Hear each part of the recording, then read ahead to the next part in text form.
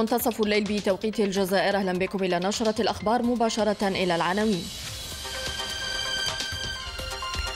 رئيس الجمهورية السيد عبد المجيد تبون يعزي رئيس جمهورية أوغندا يوري موسيفيني في ضحايا حادث الانهيار الأليم الذي أودى بحياة 24 مواطنا. تعزيز التعاون الثنائي والإشادة بالمواقف الإيجابية للجزائر تجاه النيجر ومرافقتها لجهودها التنموية في صلب زيارة الوزير الأول وزير الاقتصاد والمالية لدولة النيجر إلى الجزائر.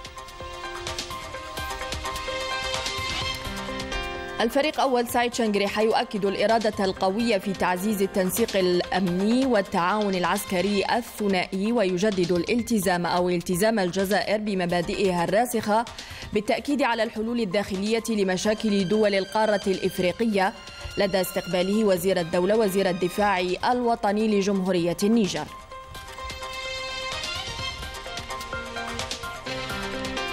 مع بدء العد التنازلي لانطلاق الحملة الانتخابية رئيس السلطة الوطنية المستقلة للانتخابات يقف على آخر التحذيرات على مستوى فضاءات التعبير الحر للمترشحين. بداية وإثر حادث الانهيار الذي وقع بضواحي العاصمة كامبالا والذي أودى بحياة 24 مواطنا أوغنديا بينهم أطفال. وإصابة عشرات الأشخاص الآخرين تقدم رئيس الجمهورية السيد عبد المجيد تبون لرئيس جمهورية أوغندا السيد يوري موسيفيني بخالص التعازي وأصدق عبارات التضامن والمواساة متمنيا الشفاء العاجل للجرحى والمصابين. الانهيار الضخم لمكب النفايات والذي خلف 24 هالكا بينهم أطفال ونساء وعشرات المصابين بمنطقة كيتيز شمال العاصمة الأوغندية. وقع جراء انهيار أرضي تسببت فيه الأمطار الغزيرة التي شهدتها المنطقة.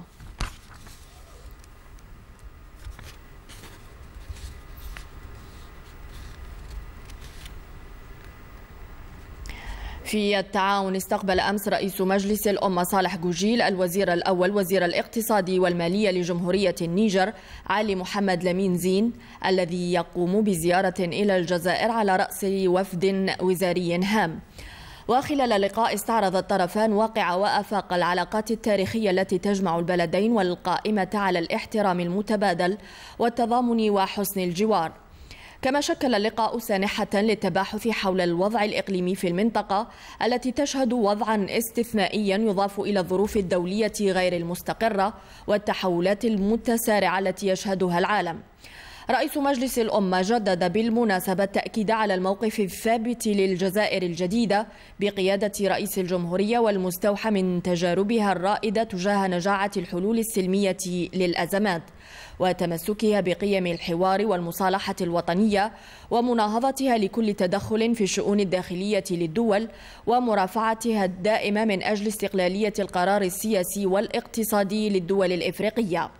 من جانبه أعرب الوزير الأول لجمهورية النيجر عن تقديره لجهود الجزائر من أجل استتباب الأمن والاستقرار في المنطقة وفي إفريقيا ومساندتها الدائمة للشعب النيجيري من أجل تجاوز كافة الأزمات التي مر بها. باسم النيجر شعبا ورئيسا قمنا بزيارة الجزائر هذا البلد الذي نتقاسم معه ثلاث قيم أساسية. الصداقة الأخوة والجوار. اليوم استقبلنا من طرف رئيس مجلس الأمة ونحن فخورون بهذا الاستقبال الذي تباحثنا فيه سبل الشراكة بين البلدين في عديد المجالات. النيجر بلد يسير على خطوات الجزائر في موقفها الرافض لأي تدخل عسكري في النيجر ومساندتها الدائمة للشعب النيجيري لاستتباب الأمن والاستقرار بالمنطقة.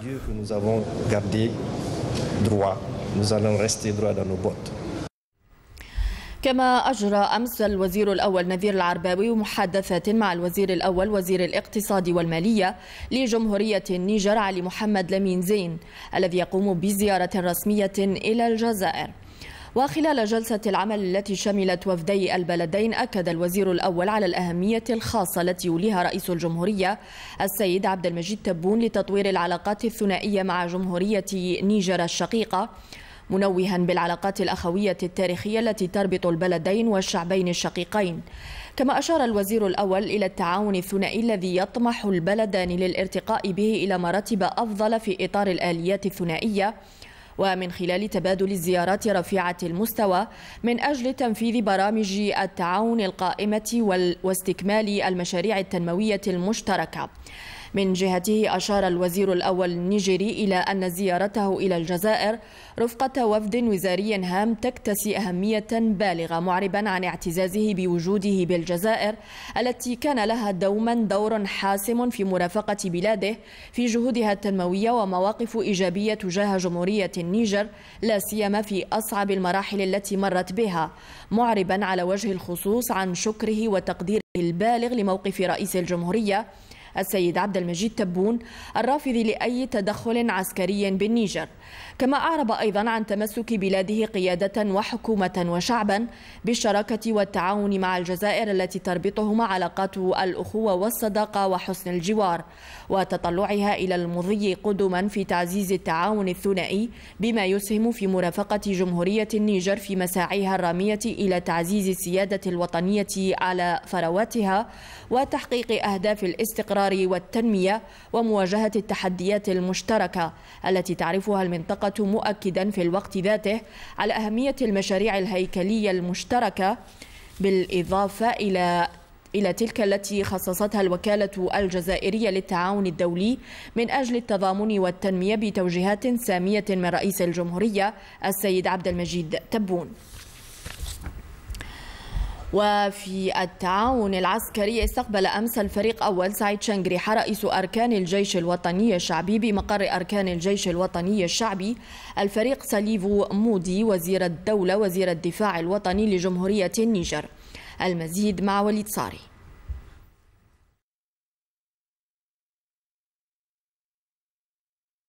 مراسم الاستقبال استهلت بتحية العلم الوطني والاستماع إلى النشيدين الوطنيين للبلدين وتقديم التحية العسكرية للضيف من قبل تشكيلات من مختلف قوات الجيش الوطني الشعبي.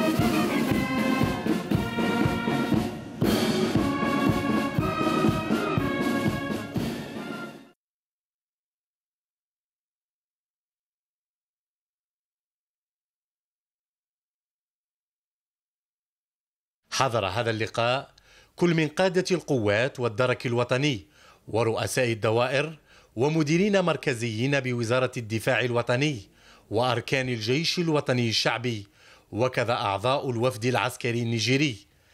السيد الفريق أول وبعد الترحيب بالوفد العسكري الضيف أكد أن الزيارة تشكل دليلا على إرادة الطرفين في تعزيز التنسيق الأمني والتعاون العسكري الثنائي بين جيشي البلدين. بداية يطيب لي أن أرحب بكم وبأعضاء الوفد المرافق لكم بمقر أركان الجيش الوطني الشعبي متمنيا لكم إقامة طيبة بالجزائر. إن هذه الزيارة تعد دليلا على الإرادة التي تحدون معا من أجل تعزيز التنسيق الأمني والتعاون العسكري الثنائي بين جيشينا هذا التعاون الذي يتعين إدراجه في إطار ديناميكية متجددة على أساس تبادل صريح وبناء من شأنه المساهمة في ترقية السلم والأمن في منطقتنا. السيد الفريق أول جدد التأكيد على أن الجزائر الملتزمة بمبادئها الراسخة مقتنعة بأن حل المشاكل الداخلية للدول القارة الأفريقية لا يمكن أن يتحقق إلا داخليا على يد الكفاءات والقدرات والقوى الحية لدول القارة. إن هذه المرحلة الصعبة والحاسمة تستدعي منا جميعا أن ننخرط في إطار رؤية استراتيجية تقوم على أسس تعاون سياسي ودبلوماسي وعسكري وأمني واقتصادي منسق. يهدف إلى توفير الشروط الملائمة من أجل إرساء استقرار مستدام. بهذا الخصوص لطالما التزمت الجزائر بمبادئها الراسخة القائمة على حسن الجوار واحترام سيادة الدول واستقلالها وكذا رفض التدخل الأجنبي مهما كان نوعه أو شكله ومهما كانت طبيعة أهدافه انطلاقا من قناعاتنا بأن حل المشاكل الداخلية لدول القارة الإفريقية لا يمكن أن يتحقق إلا داخليا على يد الكفاءات والقدرات والقوى الحية لدول القار. من جهته أشاد الفريق سليف مودي بحفاوة الاستقبال الذي حظي به والوفد المرافق له مؤكدا توافق رؤى الطرفين بخصوص مجمل القضايا الأمنية التي تناولتها المحادثات الثنائية كما أعرب عن أمله في تعزيز علاقات التعاون بين بلده والجزائر التي أكد أنها مبنية على التشاور والاحترام المتبادل. في ختام اللقاء وقع وزير الدولة وزير الدفاع النيجيري على السجل الذهبي لأركان الجيش الوطني الشعبي ليتبادل بعدها الطرفان. هدايا رمزية.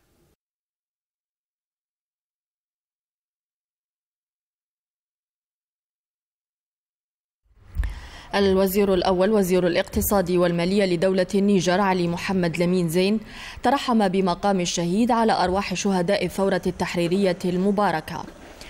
الوزير الأول لدولة النيجر الذي كان مرفوقا بوزير الطاقة والمناجم محمد عرقاب وضع إكليلا من الزهور أمام النصب التذكاري المخلد لأرواح الشهداء الأبرار.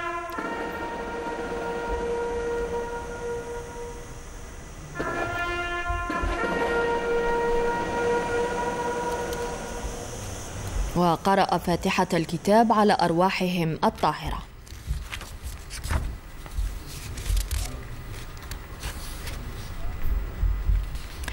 هذا وقام الوزير الأول وزير الاقتصاد والمالية لدولة النيجر علي محمد لمين زين بزيارة إلى المتحف الوطني للمجاهد مرفوقا بوزير المجاهدين وذوي الحقوق العيد ربيقة ووزير الطاقة والمناجم محمد عرقاب.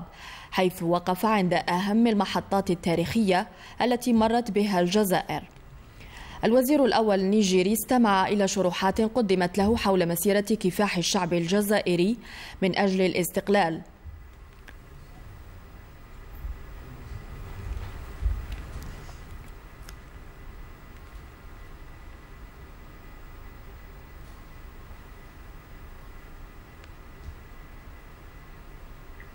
وفي الأخير وقع الوزير الأول النيجيري على السجل الذهبي للمتحف.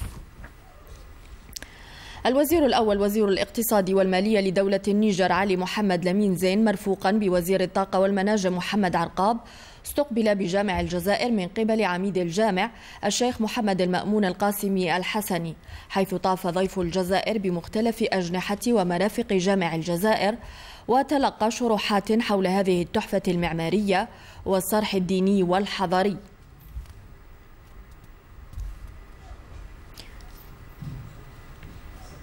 الوزير الأول لدولة النيجر بعد أدائه للصلاة زار المئذنة الكبرى لجامع الجزائر. وضمن زيارة الوزير الأول وزير الاقتصاد والمالية لدولة النيجر على رأس وفد وزاري هام جرت لقاءات ثنائية قطاعية لبحث فرص التعاون البيني. خالد حجلالي محادثات ثنائية شملت مستويات التعاون بين الجزائر والنيجر وشكلت فحوى لقاء أحمد عطاف بناظره بكاريا وسانغاري حيث أبدى الطرفان استعدادهما للرقي بهذه العلاقات الثنائية إلى آفاق أوسع. آلية تعاون ثنائي تعززت لتشمل قطاع النقل حيث أشاد وزير النقل لجمهورية النيجر بالتجربة الجزائرية في مجال إنجاز الهياكل القاعدية مؤكدا أهمية مواصلة العمل والتنسيق بين البلدين. تشاور وتنسيق أيضا لمجالات التجارة بما يخدم مصلحة البلدين. حازت اهتمام وزيري التجارة اللذين أكدا خلال لقائهما على تعزيز سبل التعاون الثنائي وفق توصيات قائدي البلدين. Nous sommes venus effectivement pour discuter par rapport à un certain nombre euh, d'activités جئنا للتشاور حول العديد من النشاطات وكل ما يخدم التنمية بين البلدين. وجدنا الاهتمام الخاص من الشعب الجزائري لدولة النيجر خاصة. عدنا باستضافة وزير التجارة والصناعة النيجيري وكانت لنا فرصة أننا نتباحث حول إرادة البلدين في بعث علاقات تجارية واقتصادية وإعادة بعث المشاريع اللي ممكن كانت عالقة أن شراكات اقتصادية وتجارية عديدة المشاركة في معرض الأسيهار. كذلك فيه مشروع لإنجاز منطقة تجارة حرة في إطار منطقة لازليكا فيه منطقة حرة اللي تجمع الجزائر مع دولة النيجر كما تجمعنا مع موريتانيا ومالي وليبيا ومع تونس. القطاع الصيدلاني الجزائري خبرة ومنتوجا يفتح آفاقه الواعدة لإفريقيا ولدول الجوار الحيز الأكبر وفق المشاريع التنموية التي تحرص الجزائر على تعزيزها بمنطقة الساحل وهي اليوم على طاولة محادثات ممثلي البلدين. Notre marché est envahi par des produits euh, يتم إغراق السوق النيجيرية بمنتجات صيدلانية لا تستجيب للمعايير لذا جئنا من أجل الاستفادة من الخبرة الجزائرية في مجال صناعة الأدوية. وإننا على يقين أننا سنتمكن من الوصول إلى منتجات صيدلانية عالية الجودة مستقبلا. طرقنا بالأخص في على الإطار القانوني اللي لازم يكون ما بين البلدين باش نخلي القطاعين الصناعيين في البلدين يتنموا وتكون فيه يعني تبادل وتكون فيه تعاون حسب الطلبات للطرفين أكدنا كذلك على رغبة الجزائر لتوضع في الإخوان في النيجر كل ما هما إمكانيات لتخلي النيجر يخرج من الأزمة اللي راه فيها حاليا. وهذه من توجيهات سيد رئيس الجمهورية كل ما, ما هو ممكن نقدمه للإخوان في النيجر إحنا موجودين. التزام الجزائر أيضا لتجسيد مختلف المشاريع الهيكلية لمجالات البريد والمواصلات على غرار مشروع الألياف البصرية التي تسمح بربط النيجر بالشبكة الدولية للإنترنت انطلاقا من الجزائر. تطرقنا إلى مستويات التعاون بين الجزائر والنيجر في مجال البريد والمواصلات. وعملنا أيضا على تهيئة الظروف المناسبة لبريد البلدين. كما تطرقنا أيضا خلال هذا اللقاء إلى أكاديمية تدريب المهندسين التقنيين بين البلدين وقريبا سنبدأ في الربط البيني بين الجزائر والنيجر. هذا اللقاء كان آه، فرصة آه، للوقوف على وبارتياح على مدى تقدم مشروع الوصلة آه، وصلة الألياف البصرية الوصلة المحورية بالألياف البصرية العابرة للصحراء والتي تسمح بربط النيجر بشبكة الاتصالات الدولية انطلاقا من الجزائر وبالاعتماد على القدرات المعتبرة التي تحوزها اليوم بلادنا في مجال عرض النطاق الترددي الدولي. جهود حثيثة ميزت اللقاءات الثنائية وتتيح اليوم فرصا أكبر لشراكة استراتيجية تخدم البلدين والقارة الأم. في الحدث الرياضي عادت أمس البعثة الجزائرية المشاركة في الألعاب الأولمبية بباريس إلى أرض الوطن والتي تضم الرياضيين المتوجين الأبطال حيث كان في استقبالهم بالقاعة الشرفية لمطار هواري بومدين الدولي وزير الشباب والرياضة عبد الرحمن حماد. نذكر أن الجزائر أحرزت في أولمبياد باريس ثلاث ميداليات أقول منها ذهبيتان لكل من الجمبازية كيليا نمور في اختصاص العارضتين المختلفة الارتفاع. والملاكمة إيمان خليف في وزن 66 كيلوغراما. فضلا عن برونزية جمال سجاتي في سباق الثمانمائة متر. أولا آه، نرحبوا بالأبطال تاعنا. الحمد لله على على هذه النتائج اللي اللي داروها. والشكر موصول كذلك لكل المدربين تاعهم لأنه الفضل فضل هذه النتائج يعود للسيد رئيس الجمهورية اللي كان متابع كان يتبع كل الرياضيين منذ مدة طويلة. إلى ملف الرئاسيات وقبل انطلاق الحملة الانتخابية تفقد أمس رئيس السلطة الوطنية المستقلة للانتخابات محمد شرفي رفقة المديرين العامين لمؤسستي التلفزيون الجزائري والإذاعة الوطنية بمعية ممثلي المترشحين الثلاثة. تفقدوا فضاءات التعبير الحر المخصصة لتدخلات المترشحين وممثليهم. أشكر آه، الإذاعة آه، والتلفزيون الوطني على ما بذلوه من مجهودات بهذه المناسبة. يعني فيها آه، تنظيم جديد بالنسبة يعني للمسارات السابقة. فيه تجهيزات جديدة اللي تعطي يعني آه، نوعية نوعية يعني مرتفعة جدا للصوت وللصورة. آه، وسرعة التحكم في في في في فيهما. المنافسة النازحة المنافسة الشرفة هذا ما نلاحظه الآن في مستوى بدايه المشوار إن شاء الله الحملة الانتخابية التي تنطلق مثل ما تعلمون كلكم يوم 15 إن شاء الله. ولمرافقة الحملة الانتخابية التي تفصلنا عنها أيام قلائل سخرت وكالة الأنباء الجزائرية كافة إمكاناتها المادية والبشرية بتخصيص فضاء للتعبير الحر إضافة إلى تكييف المحتوى للتحسيس والتوعية بهذا الموعد الانتخابي الهام. سونيا غاسي. وكالة الأنباء الجزائرية تستعد لتغطية الانتخابات الرئاسية مجندة بذلك كل الوسائل والمكونات المادية والبشرية لضمان تغطية إعلامية مهنية ومحترفة. السدادات تمت سواء على المستوى المركزي أو على مستوى مكاتب الولائية كل الولايات التي نتواجد بها و سنرسل مراسلين لتغطية انتخابات أبناء الجالية الوطنية في الخارج. الوكالة تقف على آخر التحضيرات من خلال وضع رزنامة ومخطط لتقسيم العمل وفق الاختصاصات المتاحة فيها. حضرنا برنامج كبيرا وفيه عدد كبير من الصحفيين لتغطية هذا العرس وهذا الحدث الهام الانتخابات الرئاسية. وبغرض إيصال المعلومة الصحيحة وفي وقتها إلى الرأي العام. مؤسسة وكالة الأنباء الجزائرية وصحفيها مجندين لتغطية الانتخابات الرئاسية القادمة حيث تم تجنيد فرق ترافق حتى تم تجنيد فرق لمرافقة كل المترشحين كما عكفت الوكالة على استحداث لجنة تضم كل الأقسام إضافة إلى القسم الخاص بالسمعي البصري. التغطية ستكون كذلك مضمونة عبر آه، قسم السمع البصري.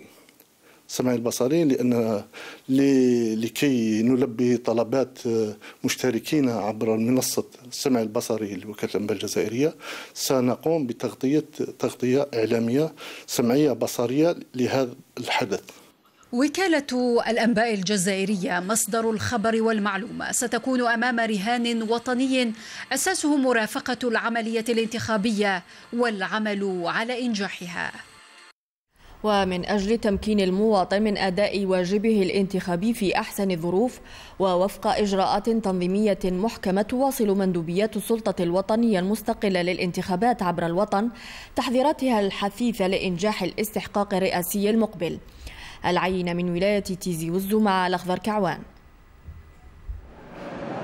تحسبا للانتخابات الرئاسية المقررة في السابع سبتمبر المقبل وقبيل انطلاق حملتها الانتخابية تراهن المندوبية الولائية للسلطة الوطنية المستقلة للانتخابات بيتيزي وزو على توفير كافة الإمكانات البشرية والمادية ضمانا للسير الحسن للعملية الانتخابية. التحذيرات آه، متواصلة بالنسبة للمؤطرين على المستوى كل بلديات الولاية بحيث لدينا 15737 مؤطر آه، منهم مؤطرين على مستوى المراكز ومؤطرين على مستوى المكاتب. كل الوسائل والإمكانيات اللازمة لإنجاح العرس الانتخابي القادم. نقوم بمتابعة يومية من خلال معاينة فضاءات الخاصة بالإشهار آه، الخاصة بالمترشحين الثلاثة.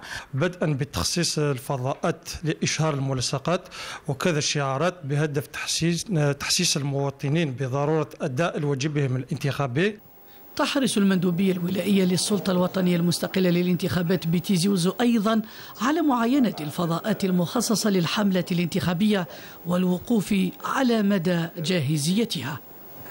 قمنا بالتهيئات الأرضية للانتخابات بحيث قمنا بتحضير كل التعطير واللوحات التحسيسية لضرورة أداء الواجب الانتخابي. والوقوف على جاهزية الفضاءات التي ستحتضن مختلف تجمعات المترشحين. كما خصصنا مساحات لتعليق الملصقات واللافتات عبر إقليم الولاية. المندوبية الولائية للسلطة الوطنية المستقلة للانتخابات بيتي زيوزو تسابق الزمن لوضع الرتوشات الأخيرة بهدف إنجاح الحملة الانتخابية ورئاسيات السابع سبتمبر القادم. في التعاون الجزائري التونسي وقصد دعم التنمية البينية وتسهيل حركة نقل البضائع والركاب. أشرف وزير النقل ونظيرته التونسية على إعطاء إشارة انطلاق أول رحلة تجارية بين تونس وعنابة. إعادة تشغيل الخط الحديدي بين تونس والجزائر يعكس الإرادة القوية لقيادتي البلدين في إرساء قواعد الشراكة الاستراتيجية المتميزة. وبالمناسبة تم التوقيع على اتفاق إطار في مجال النقل بمختلف أنواعه فضلا عن اللوجستية والأرصاد الجوية كما تم التوقيع على مذكرة تفاهم في مجال الطيران المدني. نورد بن عبسة. ما إن أعلن عن توقيت السفر إلى الجزائر أقبل المسافرون على اقتطاع التذاكر. والرحلة التجارية هي الأولى من تونس عبر القطار بعد ثلاثة عقود من التوقف. حبينا نكتشفوا معناها القطار هذا جديد وفهمني أول ما سمعنا بالسفرة سرعنا وجينا وأخذنا التذاكر نتاعنا وسافرنا وهنا موجودين معكم في التران هذايا. أول مرة ركبنا فيه. يظهر لي يخمن لي تاكسي و نقص المكيفات ومش à l'aise. لهنا confortable الكراسي confortable يعني قاعدة مريحة آه، وكأني في طائرة. إحنا ديما نمشيو للجزائر وتعجبنا برشا وإخوات برا في بعضنا وصراحه فرحنا كيف رجع الخط هذا. ومشينا لعنابة إخواتنا الجزائريين فرحوا بينا برشا وإحنا فرحانين برشا اللي هو رجع الطرا هذا للجزائر. شركة خدمات السكة تقدم الإطعام للمسافرين حسب الطلب فضلا عن العناية بالنظافة والتوجيه. تسعيرة من تونس حتى الغار الغار ديما عندنا تسعيرة. تسعيرة دينار تونسي. كي نديباسيو الغرب ديما نستعملوا تسعيرة دينار جزائري. الخط هذا سيعمل على تعزيز التبادل التجاري وتنشيط الحركة الاقتصادية بين البلدين ودعم التنمية المستدامة وتسهيل حركة البضائع والركاب. جميع الملاحظات اللي يسجلها المسافر سوف تؤخذ بعين الاعتبار والشركة دائما تصبو إلى تحسين نوعية الخدمات المقدمة. آه، سوف آه، نقوم بإدراج رحلات أخرى آه، حسب على حسب الطلب المقدم. انطلق القطار اليوم من محطة تونس ب 100 مسافر. نعتبر هذا العدد هام باعتبار الفترة الوجيزة اللي تم الإعلام عليه عليه القطار. إحنا ننتظروا باش أنه يكون الإقبال عليه كبير. وإحنا حاليا منظمين ثلاثة سفرات ذهاب وإياب. نجاح التعاون بين وزارتي النقل الجزائرية والتونسية في إعادة تفعيل الخط السككي من جديد شكل حافزا لتعميق المباحثات في مجالات النقل المختلفة. بحيث أضيفت إلى هذا الاتفاق عدد الرحلات المبرمجة بين الطرفين سواء الخطوط الجوية الجزائرية وكذا الخطوط الجوية التونسية. هذا بالنسبة للملف الأول. أما بالنسبة للملف الثاني قمنا بدراسة كل التعاون اللي بإمكاننا نجسده في مجال النقل البري أو النقل البحري وكذا النقل الجوي. وهذا المهم جدا في قطار في مجال النقل بكل الأنماط نتاعو النقل البحري والجوي مع المناطق اللوجستية والأرصاد الجوية. عندنا خطة عمل في المستقبل باش نخدموا عليها إن شاء الله مع بعضنا باش نفعلوا الاتفاق هذايا. والجانب الاقتصادي توا هو اللي باش نخدموا عليه. وإن شاء الله نفتحوا من بعد على إفريقيا ونمشيو مع بعضنا. وشركات معناتها تونسية وجزائرية تخدم مع بعضها في في كل المجالات. إعادة استغلال خط نقل المسافرين عبر القطار بين عنابة وتونس يعكس إرادة البلدين لدفع التعاون الثنائي والارتقاء بالعلاقات إلى شراكة استراتيجية مثمرة. انتقل إلى رحمة الله الزميل يوسف زغلاش مكلف رئيسي بالإيصال بالقناة السادسة الشبابية للتلفزيون الجزائري. وعلى إثر هذا المصاب يتقدم المدير العام للتلفزيون الجزائري بالنيابة باسمه وباسم كافة عمال وصحفي المؤسسة إلى أسرة الفقيد بأخلص عبارات التعازي والمواساة راجيا من المولى عز وجل أن يتغمد الفقيد برحمته الواسعة. إن لله وإن إليه راجعون. خلال نقاش رفيع المستوى بمجلس الأمن بنيويورك حول تصحيح الظلم التاريخي ضد إفريقيا بفعل بفعل غياب التمثيل الفعال لها في مجلس الأمن نقل الأمين العام لوزارة الشؤون الخارجية والجالية الوطنية بالخارج والناس مجرمان تحيه رئيس الجمهورية السيد عبد المجيد تبون إلى نظيره السيراليوني منسق لجنة العشرة المعنية بإصلاح مجلس الأمن وتمنيته الخالصة بنجاح هذا النقاش. مجرمان أكد قناعة الجزائر بحاجة مجلس الأمن اليوم للصوت الإفريقي صوت الحكمة وصوت الالتزام وصوت المسؤولية وتمسكها الدائم والتزامها الثابت بالموقف الإفريقي المشترك. وكذا التزامها من موقعها كعضو غير دائم في مجلس الأمن بأن تكون صوتا صادقا في خدمة مصالح إفريقيا وتطلعاتها. أولا هو تصحيح الظلم التاريخي الذي تعاني منه القارة الإفريقية باعتبارها الغائب الوحيد في فئة الأعضاء الدائمين والأقل تمثيلا في فئة الأعضاء غير الدائمين. لذلك تطالب إفريقيا بحقها في الحصول على مقعدين دائمين بالإضافة إلى مقعدين غير دائمين في مجلس الأمن مع جميع الامتيازات المرتبطة بهذه المقاعد. في الأراضي الفلسطينية المحتلة حرب الإبادة التي يشنها الاحتلال الصهيوني منذ أزيد من عشرة أشهر خلفت آثارا وصدمات نفسية عميقة على أطفال غزة بسبب هول ما شاهدوه وما عاشوه من قصف وفقدان للأهل وما عنوه من آلام وجراح. مراسلنا من غزة وسام أبو زيد يرصد لنا حال البراءة الجريحة في غزة. هذا الطفل لم يصب بشظية أو رصاصة. لكن الإصابة النفسية التي مني بها كانت كفيلة لأن تفقده قدرته العقلية والكلام بعد غارة إسرائيلية شنها جيش الاحتلال بالقرب من خيمتهم قبل أربعة أشهر. ولا زالت حالته النفسية تزداد سوءا وتضاعفت معاناة الوالدين. آه، صار قصف. آه، علي أصيب يعني خلالها. آه، فقد القدرات اللي عنده. من ضمن الكلام صار عنده اضطرابات في السلوك. فرط حركة. بنعاني معاه بشكل يومي. يعني الطفل كثير كثير تعبان وبحاجة لتدخل عاجل وأنا بناشد العالم أجمع بالتدخل لإنقاذ طفله والسفر لتلقي العلاج. فعلى مدار أيام من العدوان المتواصل على غزة أضحى غالبية الأطفال يعانون من الصدمات النفسية وظهرت عليهم أعراض يصعب علاجها وتحتاج إلى سنوات وإمكانيات لا تتوفر لدى المنظومة الصحية المنهارة في قطاع غزة. لما لما يصير قصف نشر أنا وإخواتي يا على أمي يا على أبويا. يعني في اسمه كان آمن في غزة يعني إلا حضن أبوي وأمي. فيش مكان آمن في غزة. يعني وين يعني وين نتخبى إلا في حضن أبوي وأمي.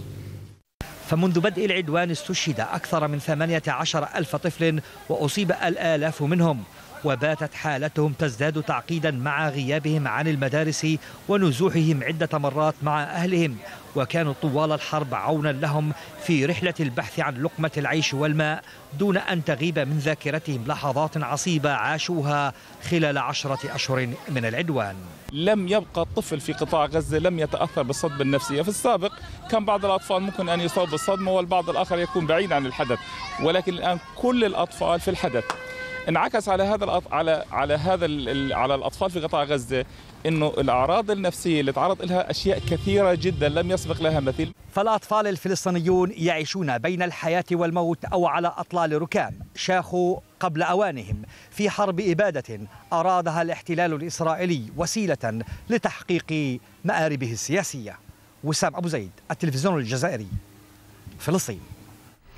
ومتابعة لردود الفعل المستنكرة للموقف الفرنسي تجاه القضية الصحراوية أكد ناشطون صحراويون بالأراضي المحتلة أن موقف باريس يعبر عن النزعة الاستعمارية التوسعية المتجذرة في فرنسا وهو تصعيد خطير في حق الشعب الصحراوي الثابت في تقرير المصير والاستقلال. هدى روابح انتفض الشعب الصحراوي في الرد على الموقف الفرنسي التعسفي الداعم لما يسمى بالحكم الذاتي المزعوم. فرنسا التي تدعي الحريات والديمقراطيات تسقط عنها كل الأقنعة وتتخلى على مبادئها المعلنة خصوصا عندما يتعلق الأمر بمصالحها. وهو ما يعتبره الشعب الصحراوي خيانة لمبادئ القانون الدولي وعدم احترام العدالة الاجتماعية وهضما لحقوق شعب يتوق للحرية والاستقلال ولتقرير مصيره. ندد بالقرار وموقف الحكومة الفرنسية من قضية الصحراء الغربية وأقول أن الشعب أن الشعب الصحراوي وحده من له الحق في تقرير المصير. نددوا بهذا القرار صدرته الحكومة الفرنسية ونقولوا لها لأنه الشعب الصحراوي الوحيد والأوحد اللي عنده الحق في تقرير مصيره ولا بديل بديل عن تقرير مصيره. ومن عمق فرنسا وتحديدا من بلدية فيتري سورسين هناك من يخالف الموقف السياسي لقصر الإليزي حيث جدد عمدة البلدية الموقف الثابت إزاء النضالات المشروعة للشعب الصحراوي من أجل الاستقلال ومن أجل العيش بحرية على أراضيه ودعم كل ما من شأنه تعزيز العدالة والكرامة الإنسانية. في ختام النشرة أشكر لكم كرم المتابعة. مشاهدينا إلى اللقاء.